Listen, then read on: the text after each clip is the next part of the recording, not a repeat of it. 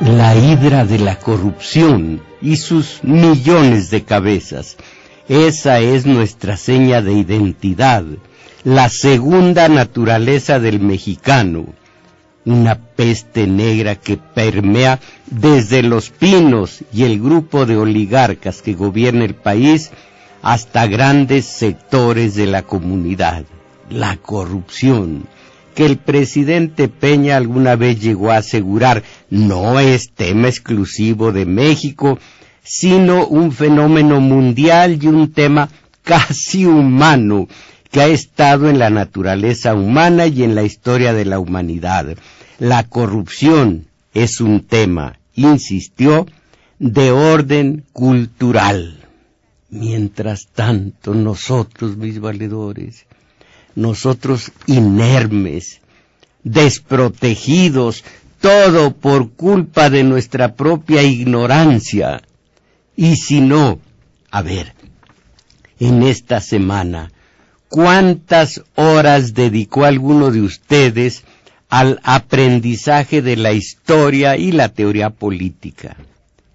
Y, por otra parte, ¿cuántas horas dedicó a deleitarse frente a la televisión, el clásico pasecito a la red, las telenovelas, las eh, jovencitas en pura pantaleta moviendo las, las pantaletas. ¿Cuántas horas dedicaron ustedes a la televisión? Mis valedores, ya nos tomaron la medida, ya nos faltaron al respeto, nos vencen por nuestra pura ignorancia, por nuestra pasividad, apatía y, y habla bien, desidia y no más.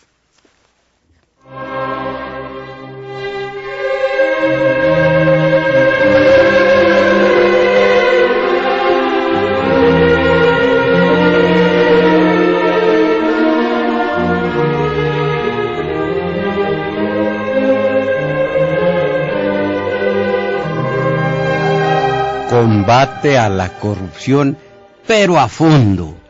Bandera que fue de campaña de Peña cuando candidato presidencial, como en su momento lo fue de Miguel de la Madrid y de sus antecesores y quienes vinieron después de él.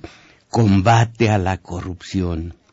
Y sobre su prometido combate a la corrupción, ¿Qué informó Peña, por ejemplo, en su segundo informe de gobierno?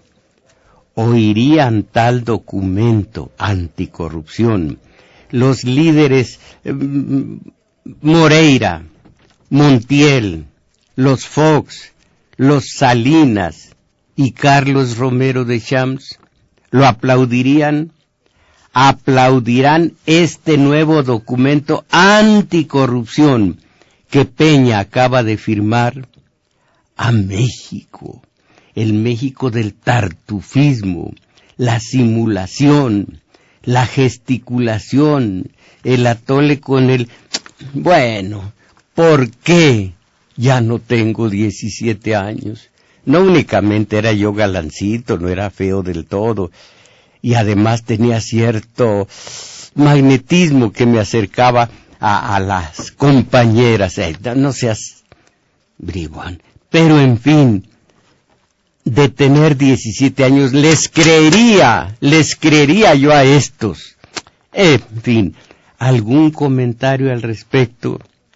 Les suplico que tengan en cuenta que este nuestro espacio comunitario de domingo 6 es y se note una diferencia con programas de radio comercial que cuentan con temas distintos y otros radioescuchas en donde solamente eh, los comentarios, los mensajes, pues son eh, desahogos hepáticos, son nada más eh, el respirar por la herida. No, nosotros ah, el vuelo, nosotros el ideal, nosotros la reflexión, nosotros dignos de nuestro espacio en Radio UNAM, aunque no tengamos la FM, pero tenemos AM.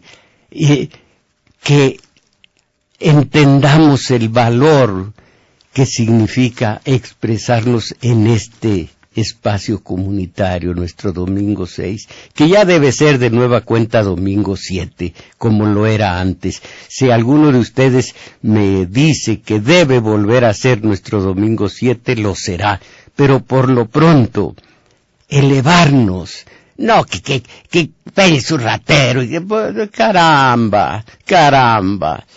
Mire, les voy a decir muy rápidamente, en Don Pablos, el Buscón, de Quevedo, mm, eh, picaresca mexicana, llegó, habla en primera persona el protagonista, llegó don Pablos, era un niño de escuela, todo golpeado, y le dice la mamá, oye, ¿qué te pasó? Pues me peleé con otros. Caramba, pero no debes hacerlo. ¿Y cómo no? Si dijeron que tú eras prostituta y empecé a sospechar de mi madre cuando en lugar de enojarse soltó la risa y dice, hay cosas tan obvias que no hay para qué andarlas comentando.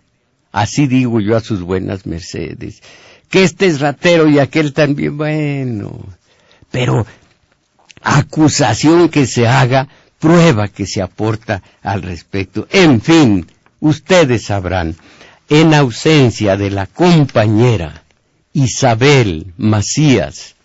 Ahora proporciona a ustedes los números telefónicos aquí para esta ciudad y toda la zona metropolitana. 55 36 89 89 ahora LADA sin costo para ustedes 01 800 50 52 688. Ya el compañero Cuitláhuac Acuña, además de haber instalado aquí este video para que ustedes eh, puedan, los que quieran, eh, eh, encontrarlo en la página valedor.org, además ya está auxiliándonos en el teléfono.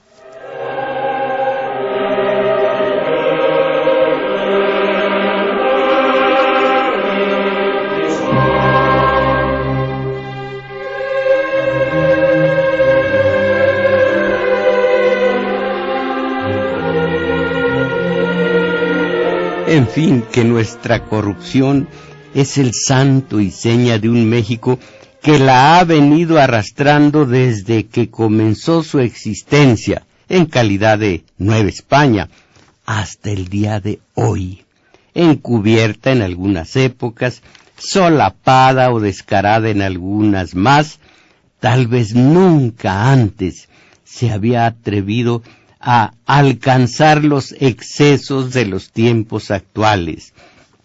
Ese hediondo foco de corrupción difícilmente pudiese superar al del Sindicato Petrolero de Trabajadores eh, de la República Mexicana, que tiene de dirigente a Carlos Romero de Champs. Eso suponíamos algunos, pero sí, hoy mismo, al regresar el energético a las manos extranjeras de las que el presidente Cárdenas arrebató en 1938, semejante maniobra ha rebasado los límites de la composición, composición, corrupción, caramba, descomposición en nuestro país, a México.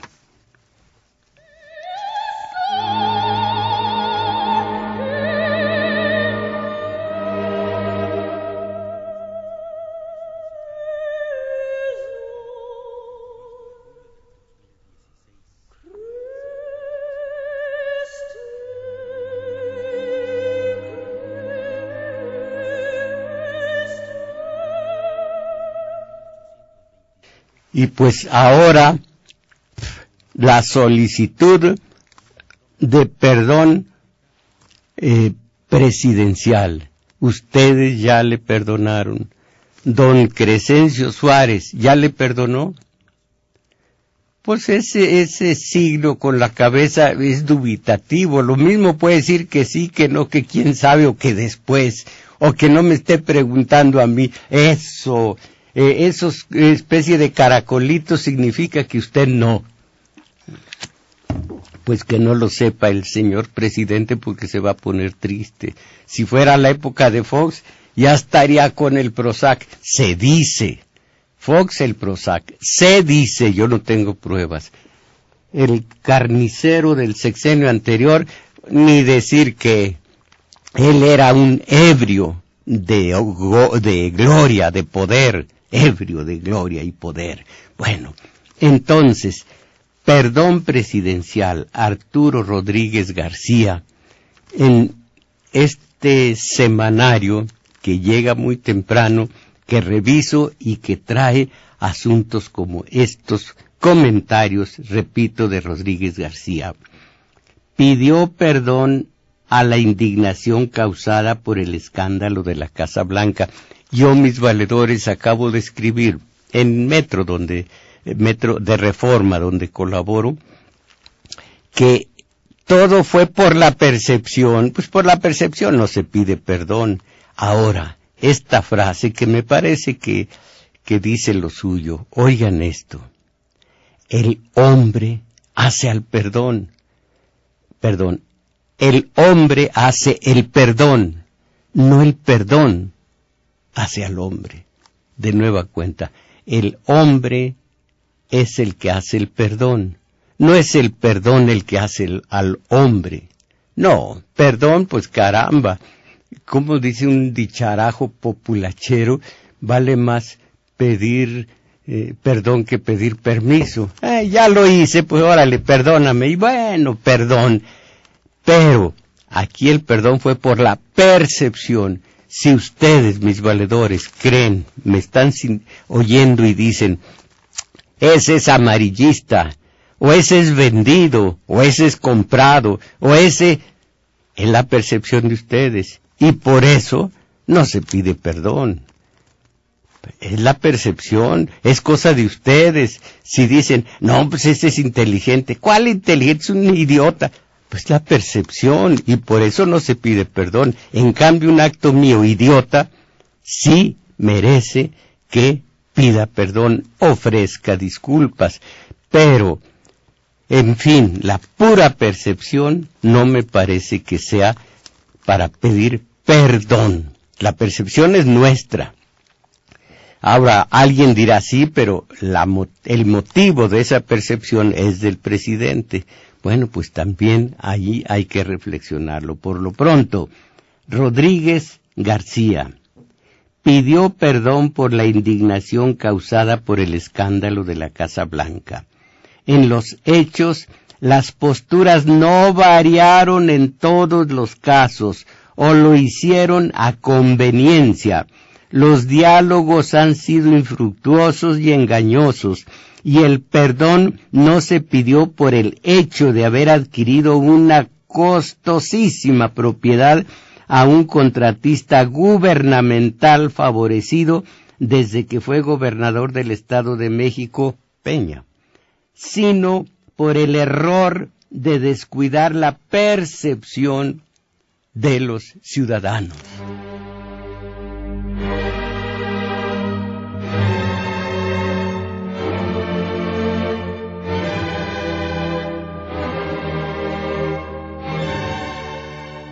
La disculpa presidencial ocurrió el lunes 18 durante la promulgación de un paquete de leyes para crear el Sistema Nacional Anticorrupción, que después de una larga batalla ciudadana y presiones empresariales, terminó doblegando al gobierno de Peña en su reticencia si bien dicho, perdón, si bien dicho sistema se implementará a finales de su administración.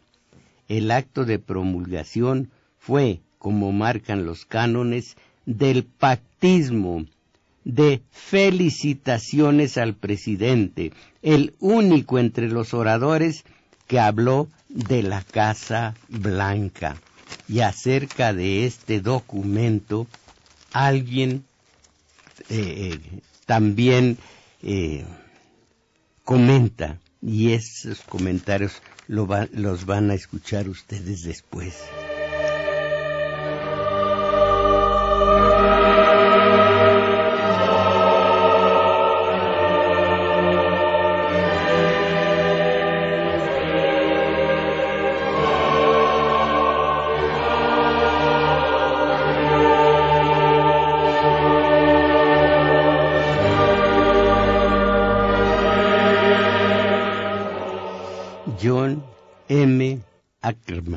Dice, el nuevo sistema nacional anticorrupción, promulgado el lunes pasado por el ocupante de Los Pinos, es un bodrio que se limita a crear una serie de nuevas coordinaciones, esto entre comillas, coordinaciones y comités, de nuevo entre comillas, que solamente generarán mayor caos entre las diversas instancias del control interno, control externo, sanción y fiscalización en los diferentes poderes y niveles del Estado mexicano. Ahora será aún más difícil que nunca saber quién es el verdadero responsable por hacer valer la rendición de cuentas, esta situación de confusión institucionalizada abrirá jugosos negocios para una infinidad de consultores y expertos, entre comillas, pero también garantizará la continuidad del sistema de impunidad estructural que está destruyendo la legitimidad de las instituciones públicas.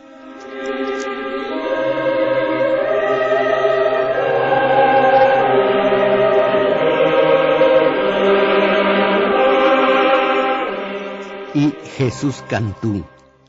El párrafo segundo del artículo 108 constitucional es enfático, comillas. El presidente de la República durante el tiempo de su encargo sólo podrá ser acusado por traición a la patria y delitos graves del orden común. Y de acuerdo con las leyes, ninguno de los delitos vinculados a la corrupción son calificados como graves. Caramba, ninguno de los delitos vinculados a la corrupción son calificados como graves. Bueno, esto aquí no. ¿Y qué tal en Guatemala? Sigo leyendo. Esta, esta, esto contrasta con lo que sucede en otros países. Ah, pues aquí está. Basta revisar los acontecimientos en curso en Guatemala y Brasil. Y segundo, prometer acaba con la impunidad. Perdón, prometer acabar con la impunidad.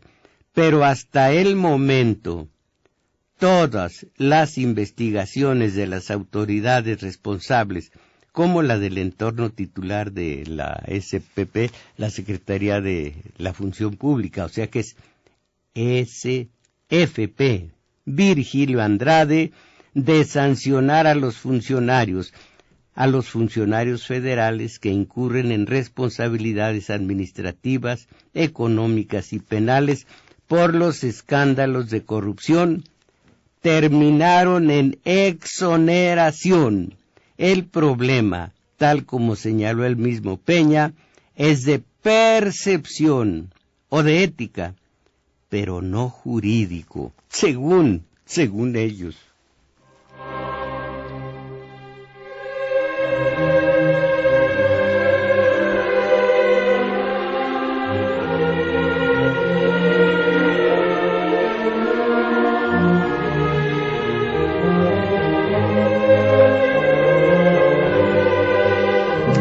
Habla también Jorge Ramos Ábalos, mexicano que reside en Estados Unidos, habla del perdón, entre comillas, que pidió el presidente de México por la llamada Casa Blanca mexicana.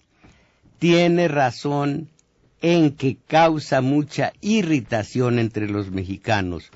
Por eso es necesario hacer una investigación independiente no como la farsa realizada por Virgilio Andrade, dice Ramos Ábalos. Esto se resolvería con una investigación sancionada por la ONU, como ocurrió en Guatemala. Pero el perdón peñista no es suicidio político. Por eso el próximo... Ay, ay, ay, aquí ya viene el catálogo de buenas intenciones que me repatea. Por eso el próximo presidente, quien sea, se debe comprometer a investigar y enjuiciar. Repito, si tuviera 17 años, hasta me alegraría. Uy, qué bueno el próximo. Caramba. Esto es no tener conciencia de enemigo histórico, señor Ramos Ábalos, pero sigo leyéndolo.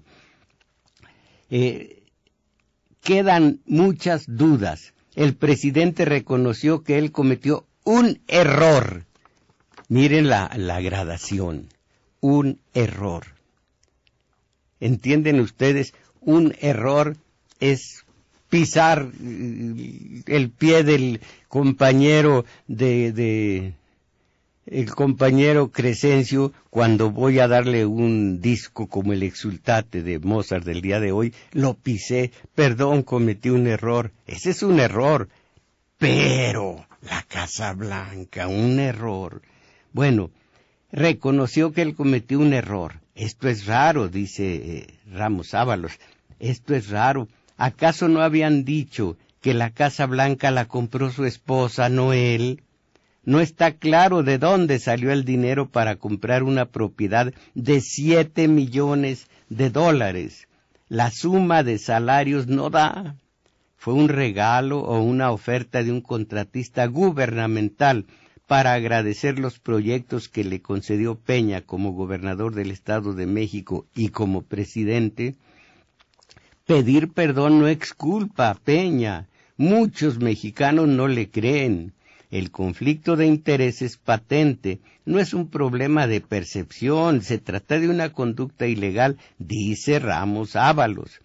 Una familia, la presidencial, se benefició por su puesto, por su puesto.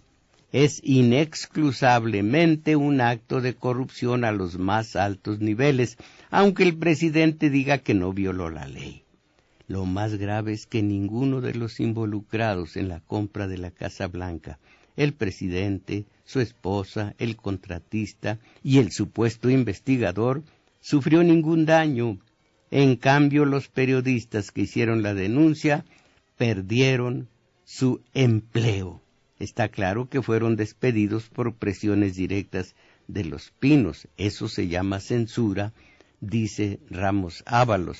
Y ustedes que han leído historia universal saben que entre las tribus bárbaras, cuando un mensajero iba a dar malas noticias al dictador, al matasiete aquel, era sacrificado.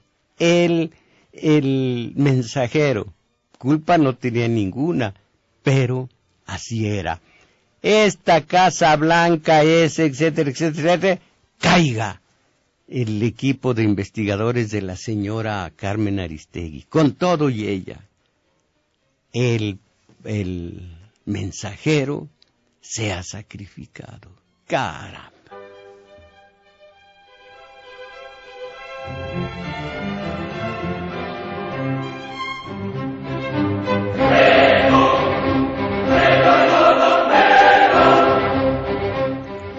Señora Guadalupe Loaesa transcribe opiniones del país, el periódico español.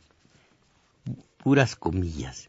El presidente reconoció que el reportaje difundido por la periodista Carmen Aristegui en el 2014 causó gran indignación. La investigación revela que el mandatario y su esposa, la actriz Angélica Rivera, poseían una lujosa mansión en una de las zonas más exclusivas de la Ciudad de México.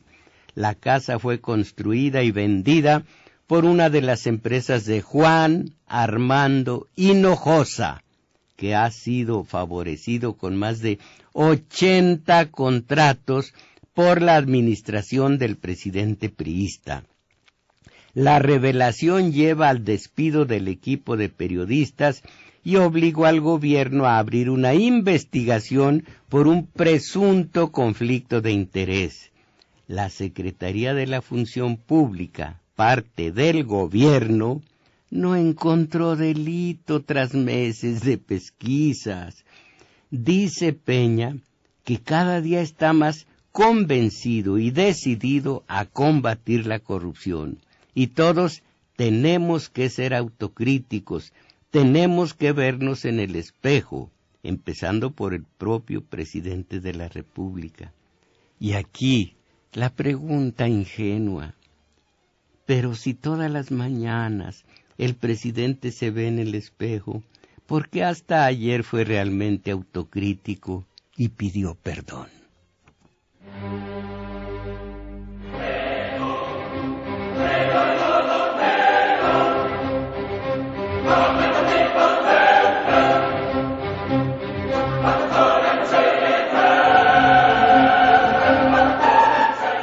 Esto no tiene ninguna razón de ser, esto no es válido. Sin embargo, yo tengo una percepción particular acerca de la facha, de la vera efigie de Virgilio Andrade con sus risitos en la frente. No tengo ninguna razón como para meterme con su aspecto físico. Pues si me viera a mí, o se pondría o soltaría la risa o se pondría a llorar. Pero en fin, a mí este individuo que ya no está en la función pública siempre me pareció falto de, ¿cómo dijéramos?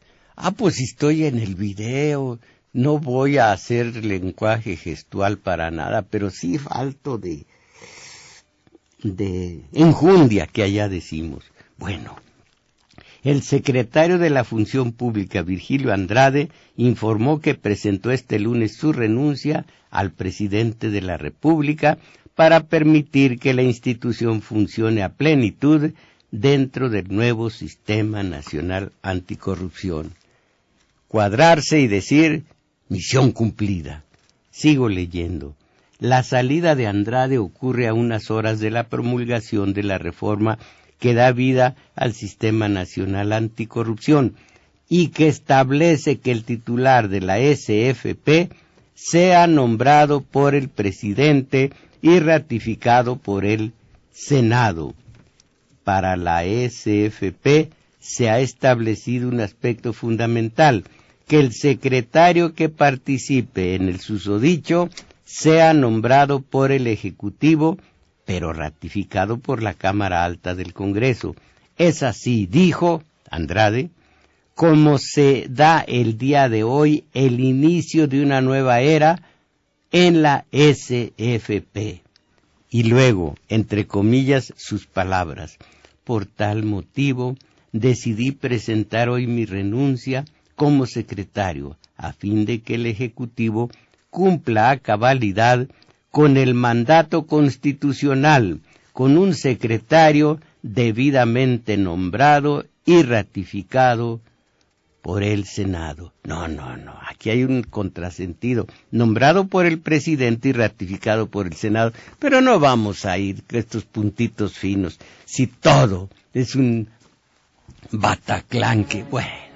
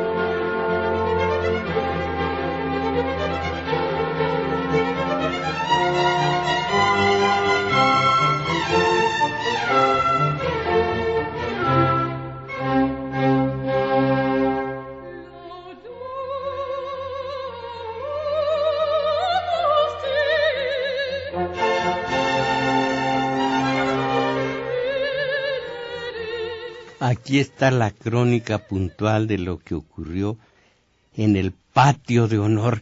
¿Cómo hablan de honores? ¿Cómo hablan de dignidades? Qué bonito, qué bonito se viene hablando desde que México fue independiente, 1821, y quien lo independizó se llamó Agustín de Iturbide, 27 de septiembre de 1821. Detrás de él el plan de la o la conjura de la profesa con el canónigo Monteagudo detrás. Así que él fue quien dio la independencia de México junto con Guerrero, pero Guerrero quedó en un segundo plano, nomás abrazó en el abrazo de Acatempan, abrazó a Iturbide y en la entrada triunfal de la de la revolución trigarante, pues se perdió en el tumulto guerrero, lástima. Pero la historia dice quién dio la independencia, aunque después se erigió en emperador. Y los de los pinos, a partir de, ¿quién vamos a decir? De Miguel Alemán, para no ir, para, dejo atrás dos. Y dejo a Cárdenas, que para mí es intocable, aunque cometió tremendos errores, eso sí, errores, pues ¿qué son los demás sino emperadores así igualmente? Entonces, el presidente firmó las leyes del Sistema Nacional eh, Anticorrupción en el patio de honor de Palacio Nacional ante legisladores, gobernadores, representantes de la Suprema Corte e integrantes de su gabinete. Al promulgar las leyes del Sistema Nacional Anticorrupción, el presidente dijo que se trabajará para erradicar los abusos de quienes no cumplen con la ley, de quienes dañan la, reputación de millones de servidores públicos que se desempeñan de forma íntegra y honesta, y dijo, podremos reconstruir la confianza ciudadana en sus instituciones y en sus autoridades. Señor que maneja el la manija del cilindro de mi vida. Yo quiero ver esto. ¿Por qué no hace favor de darme, no mucho, unos ochenta o noventa años más de vida, para ver que se reconstruya la confianza ciudadana en sus instituciones y en sus autoridades?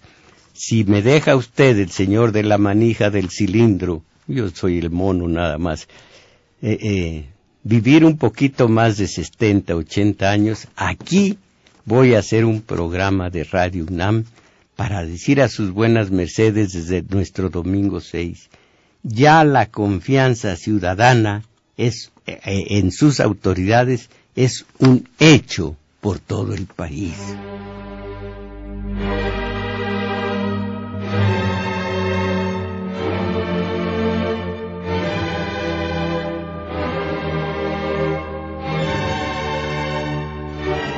y voy a proclamarlo desde este micrófono, que el nuevo sistema anticorrupción, dijo el presidente, representa un cambio de paradigma que dota al país de nuevos instrumentos para fortalecer la, integridad en el servicio público y erradicar la corrupción.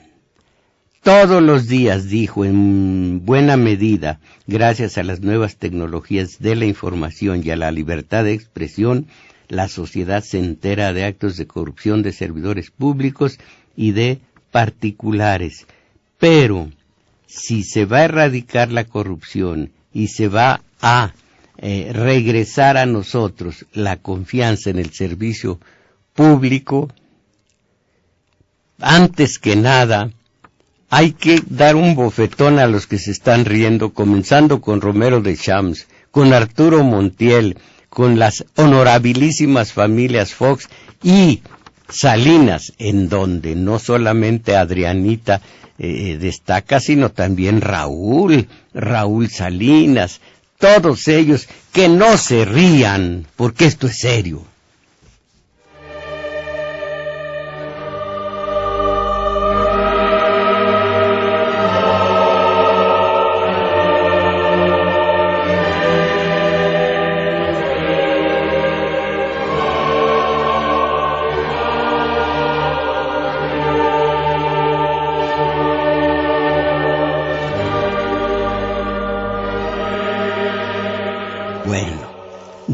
Debe el PRI señalar a corruptos. Repito, mientras ustedes acepten el catálogo de buenas intenciones o inclusive lo practiquen, mal andamos.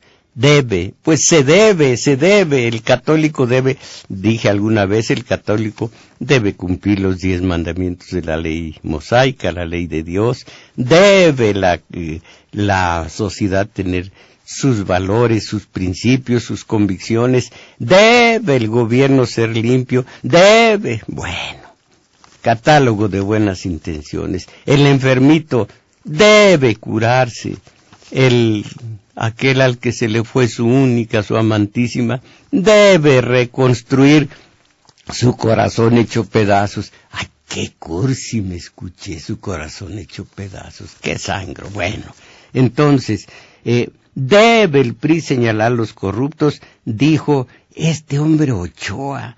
No sé, se llama Enrique. ¿Quién carambas es Enrique Ochoa? Pues es nada menos que el dirigente nacional del PRI. Y él aseguró que su partido está obligado a señalar a los funcionarios del tricolor que, que incurran en actos de corrupción. Los que incurran, no los que ya incurrieron. Durante una conversación transmitida anoche en Facebook, eh, el nuevo líder insistió en que, ¿qué será el Facebook? En que tenemos que ser los primeros en señalar casos desde cualquier funcionario público que venga en las filas del PRI y haya traicionado a la sociedad y se haya corrompido.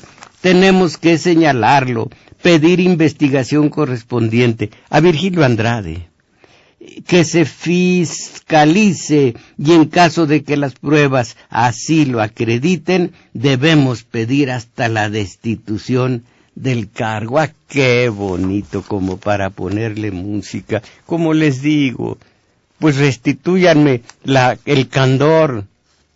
Yo era cándido cuando comencé aquí, hace cuarenta y tantos años, a hacer programas de radio en, en FM y en AM. Era cándido, yo decía, pues a lo mejor, no voy a decir mi edad, pero yo decía, a lo mejor este, este presidente nuestro, Pascual Ortiz Rubio, y así seguía, aquí así seguía. No voy a decir mi edad.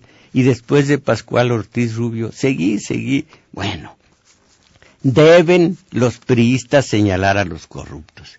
Dice Fernández Menéndez, a pesar, a ver, ah, pensar que con encarcelar a alguien se reconstruye un tejido social y se reconcilia una sociedad, como había dicho el gobernador electo de Chihuahua, Javier Corral, respecto a encarcelar al gobernador César Duarte, es una falacia. Está de moda y todos hablan de mandar a la cárcel a sus predecesores. Muchos hacen de ello su única agenda política o lema de campaña, la mafia del poder. Pero no se dan cuenta que la cárcel es, no se dan cuenta de que la cárcel no sirve, no alcanza para gobernar. Le sucede a Claudia Pavlovich en Sonora, con Guillermo Padres, pero mucho más a Jaime Rodríguez en Nuevo León, con Rodrigo Medina, a Arturo Núñez con Andrés Granier, él ya está en la cárcel, y si siguen así le sucederán a Corral con Duarte, a Miguel Ángel Yunes con Javier Duarte, a Carlos Joaquín González con Roberto Borge. Todos dicen voy a meter a la cárcel al corrupto antecesor, pero por supuesto todo se queda en jarabito de pico, como entonces decíamos. Ahora, los que roban, hay algunos confesos, como este, a ver qué les parece.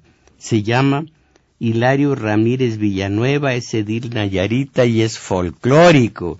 Dijo que le robé a la presidencia municipal. Sí le robé.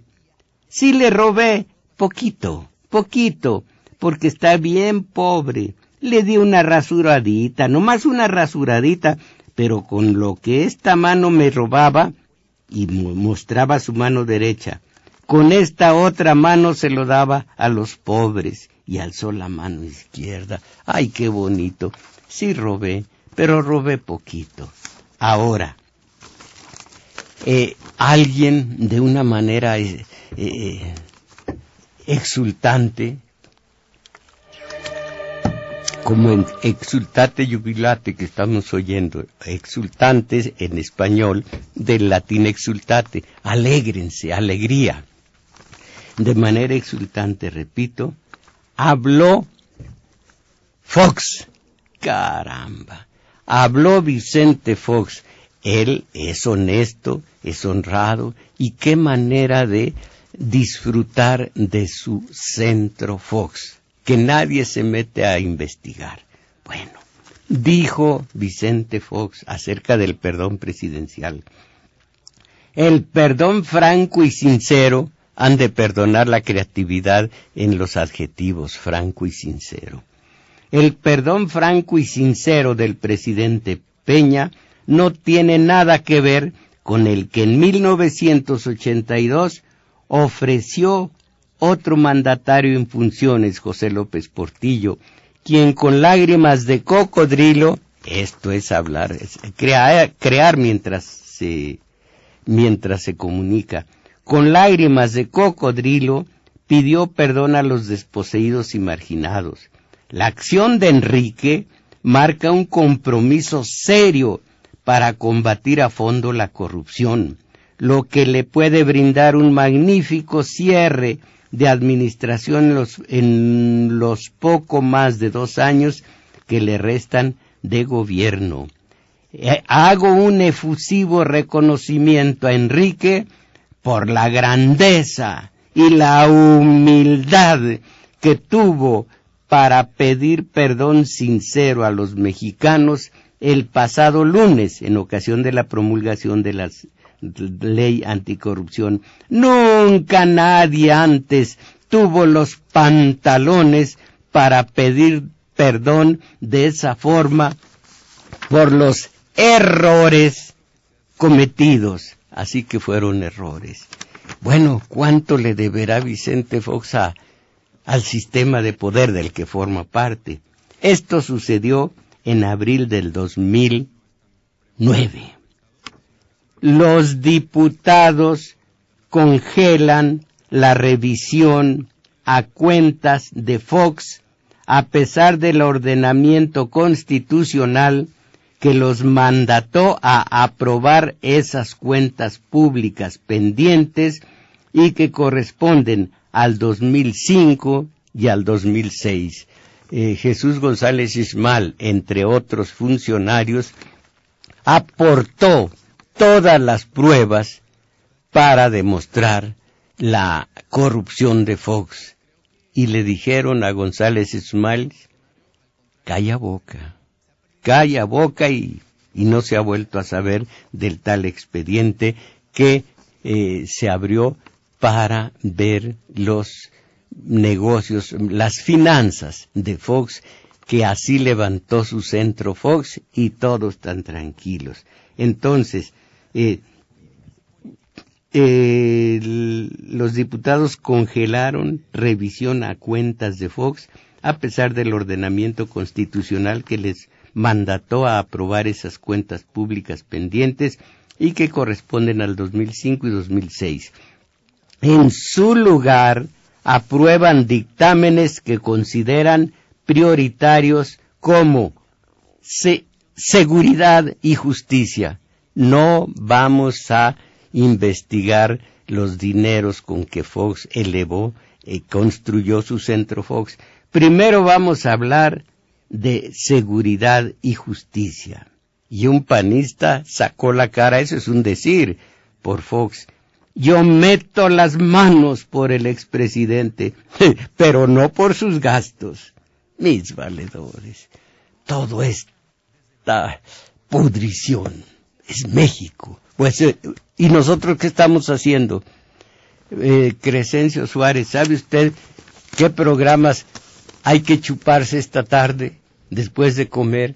Don eh, Daniel Cruz, hable, dígame usted qué programas hay en la tele para... Es domingo el pasecito a la red. Ah, el clásico pasecito a la red. Ya se inició la temporada. Ya se inició. Bueno, entonces, eh, eh, a sentarse a dos nalgas a ver el clásico pasecito a la red. Y ahora, ahora, eh,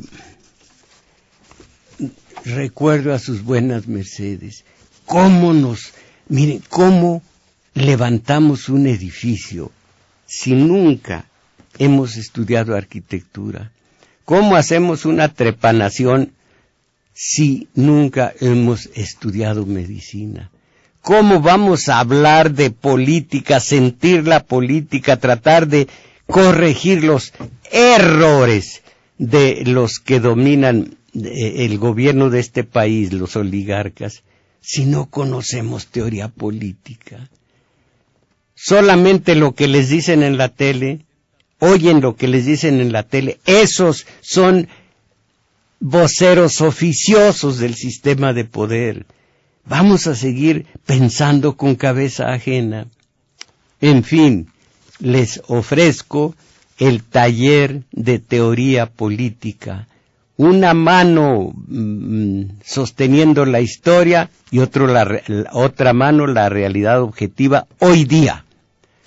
Por ejemplo, por estas fechas estamos analizando los tremendas eh, eh, interrupciones, no, no, no, no, no, irrupciones de los embajadores, todavía ministros de Estados Unidos en asuntos de nuestro país. Es asqueroso, es horroroso, pero nosotros allí estamos. Entonces, eh, eso, nuestro taller de teoría política, sábados, 11 a 13 horas en el juglar, Centro Cultural El Juglar de Manuel M. Ponce, 233, eh, Colonia Guadalupe Inn.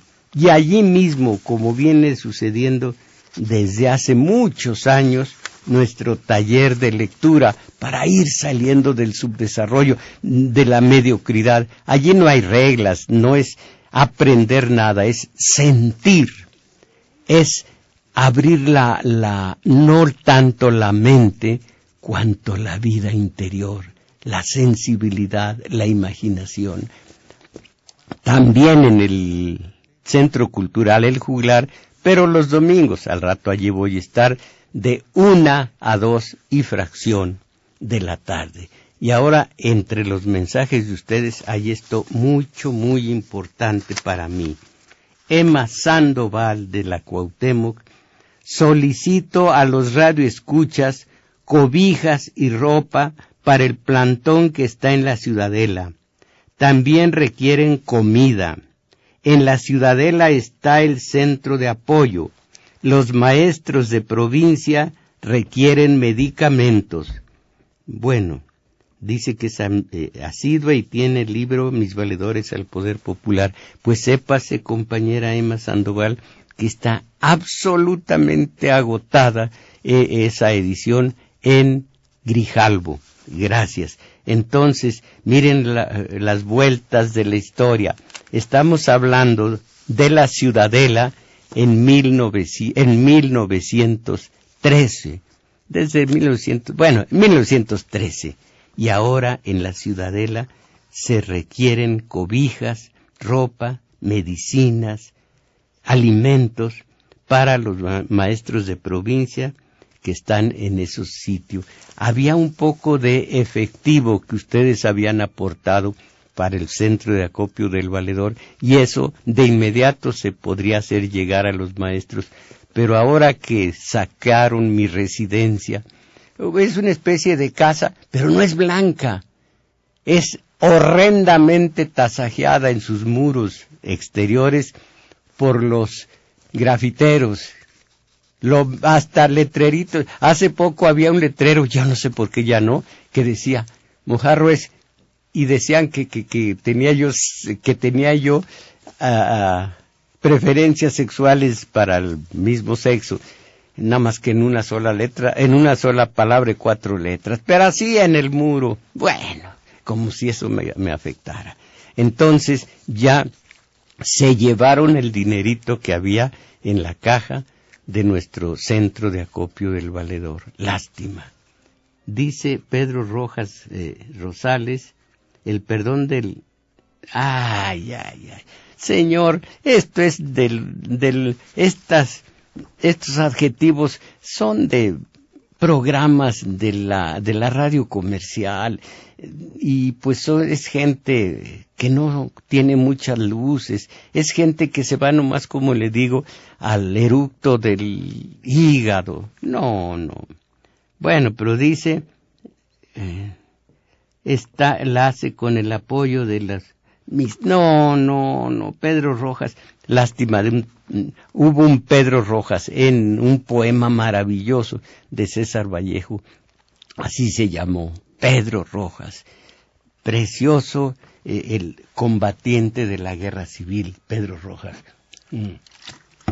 Hace rato les dije, volar, subir, elevarnos, es que el espíritu vuele.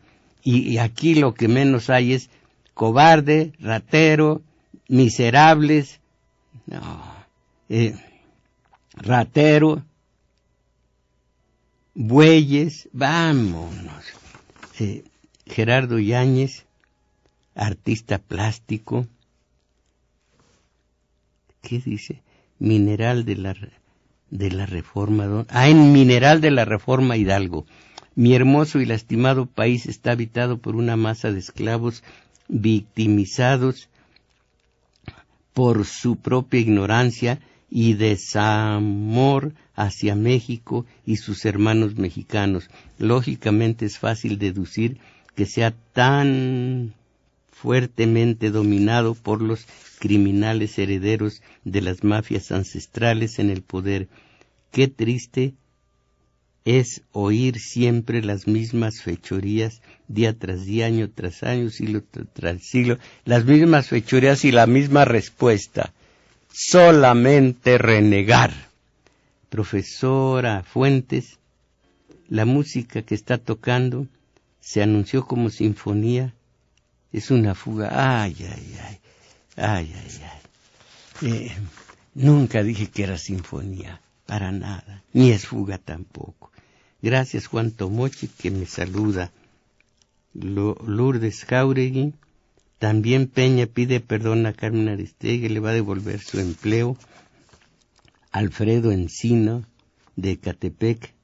Solo una petición, maestro, por favor desarrolle reforma educativa. En su momento, en su momento, desdichadamente, para todos nosotros, estos programas no están no están programados para peticiones así en su momento. Ernesto Ortiz ahora pide perdón por su Casa Blanca. Eh, eso de nada beneficia a la muy pregonada anticorrupción. Rebeca Domínguez, volví a leer El laberinto de la soledad y es increíble cómo lo que escribió hace ya tanto está vigente. No todo, Rebeca Domínguez, mucho de eso ya es obsoleto por ejemplo, los pachucos y demás. Eh, cuando habla de la etapa de la independencia, la revolución, dice que la revolución nos dio identidad. Abre este hombre, ha hecho, ahora este hombre ha hecho lo contrario. Lo que teníamos se ha desbaratado, se ha privatizado el petróleo, se han privatizado bancos, la clase media está destruida. Eh, Carlos Ramírez Noriega de Puebla. Saludos. Bueno, gracias. Este país está constituido por una mayoría de gente que no tiene dignidad, no conocen la vergüenza, el honor. Su mansedumbre se ha incrementado con el tiempo, 500 años de mansedumbre. Pienso que este país de bueyes no va a reaccionar. Vendrá un boyero externo, Trump, que vendrá a poner en orden a los boyeros de aquí. Nosotros seguiremos en la condición de bueyes. Este, eh, y dice de una mujer que tenía dos libros, El pueblo que quería crecer y Manual del Ciudadano Contemporáneo. pero llévese usted, eh, léalos con mucho tiento, porque esta señora ya muerta era reaccionaria totalmente. Pero yo he leído estos libros. La Luis Roldán, hace tiempo usted comentó el término caquistocracia. Eh, la Casa Blanca es un claro ejemplo. Dice Teófilo, Teófila, creo, Rivera, soy paciente del DIF desde hace un año que no funciona el taller de ortopedia. No hay terapias, no hay consultas. Esto es el DIF de Zapata 300. ¿Qué está pasando? No sabemos, solo nos dicen vuelva después. Julián Barquín, por favor, denle al maestro Mujaro señal en FM. Eh, Alejandro Alemán, felicidades. Bueno, yo opino que le cambie el nombre a Domingo 7. Le pido a los directivos de Radio UNAM que le dé dos horas y señal en FM. ¿Cómo ve Crescencio Suárez? ¿Será bueno Domingo 7 de nuevo? ¿Le parece? Bueno, mm, dentro de ocho días que esté aquí la compañera Isabel Macías, voy a decirle que comencemos a, hablar una vez más de Domingo 7.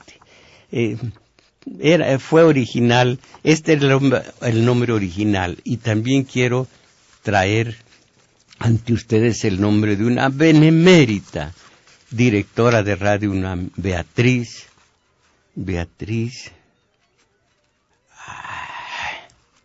alguien que todavía tengo tiempo que me diga, eh, eh, nieta, hija del rector, el rector del 68, dígalo, ¿eh? Eso, Beatriz Barros, Orcasitas, muchas gracias. Beatriz Barros Orcasitas me dijo, ¿por qué no hace un programa en domingo? Este, lo hago. Eh, y dije que se llame Domingo 7, dice, pues ahora salga usted con su Domingo 7. Beatriz Barros Orcasitas, cuánto bien me hizo mientras yo estuve aquí día con día, de lunes a domingo. Pero en fin, eso es historia. Jorge Salinas, vámonos. Ya no esté pateando el pesebre, no sea malagradecido. Ahora dígame rápido cuál es el pesebre. El PRI, Peña, eh, Radio UNAM, ¿qué? ¿Quién? Dice Julio Salgado, un país petrolero que compra gasolina al extranjero es criminal. El gobierno priista bien empresarial y siguiendo una falsa economía está entregando los bienes de la nación al imperio gringo, obedeciendo así a dictados extranjeros y no a la voluntad del pueblo. Allí falta independencia. Hay soberanía e independencia. Independencia se refiere a un país extranjero y soberanía que haya eh, potestad en todo el territorio. Ahora pues hay varios, varios eh, zonas, varias zonas y aún estados que ya salieron del control del Estado. No vuelvo a tomar un poco de alimento. Me regalaron un pan y tengo la boca con pan. Entonces, eh, las reformas educativas, energética, de salud, de agua y laboral es igual a privatización. Por otro lado, bien se ve que estamos dolarizados por el imperio gringo. El ejemplo, un ejemplo, Radio UNAM hace honor a la música extranjera y no a la nacional, independientemente que la música no tiene fronteras.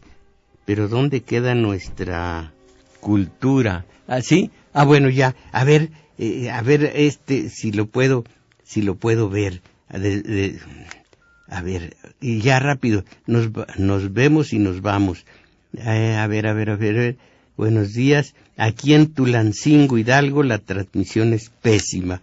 Bueno, no tenía por qué estar mejor en Tulancingo. Me dicen que por todas partes se oye mal y que hay baches y que cuando yo digo el Señor tal, se interrumpe, en fin, pues esto fue todo por hoy. Agradezco en primer lugar a Crescencio Suárez en el control técnico y en continuidad a Gustavo López Romero. Aquí estuvieron en el video y en el teléfono Cuitlago Acuña y en el teléfono únicamente el compañero David Cruz. Mis valedores, los espero en la en el juglar y por lo pronto a salir de esta mediocridad. Ánimo.